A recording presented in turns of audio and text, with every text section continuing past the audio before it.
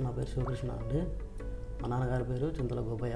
మా నాన్నగారు సుతారు పనిచేస్తుండే కొద్దిగా ఆయాసం వస్తుందని చెప్పేసి కామినేని హాస్పిటల్కి తీసుకొచ్చాం. సర్జరీ అనేది చేయాలని నుంచి చే చేపించారు. ఇప్పుడు ఎంత ఓకే అయింది. మంచిగానే ఉంది. రేపు డిశ్చార్జ్ అన్నారు. రేపు తీసుకెళ్తున్నాం ఇంటికి. ఆ, వాసారి కలిసిన తర్వాత స్టంట్ ఒకటి వేయాలని చెప్పారు. ఆ వాల్ ఒకటి బ్లాక్ అయిందని చెప్పారు.